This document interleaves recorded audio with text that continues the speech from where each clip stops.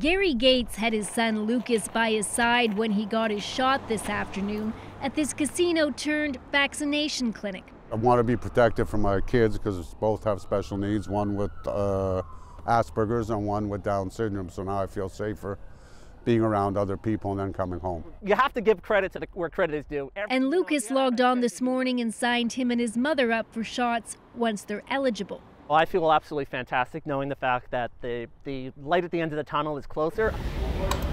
BC launched an online booking system today. Those over 71, along with Indigenous adults and those with certain chronic conditions, can book their shots now.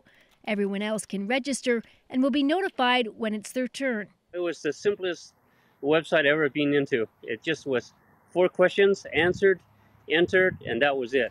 The process much smoother than when the phone system launched last month, and many reported spending hours trying to get through. We all become a little bit safer, and we will get through this next few months until all of our communities are protected.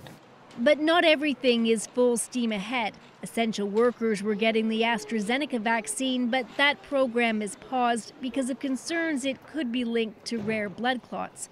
Instead, those doses are being given to people between the age of 55 and 65, where the risk is believed to be much lower. It's really critical that essential workers get vaccinated, especially when we're looking at the numbers in BC, as I say, and the number of exposure notifications to schools over the long weekend was quite overwhelming.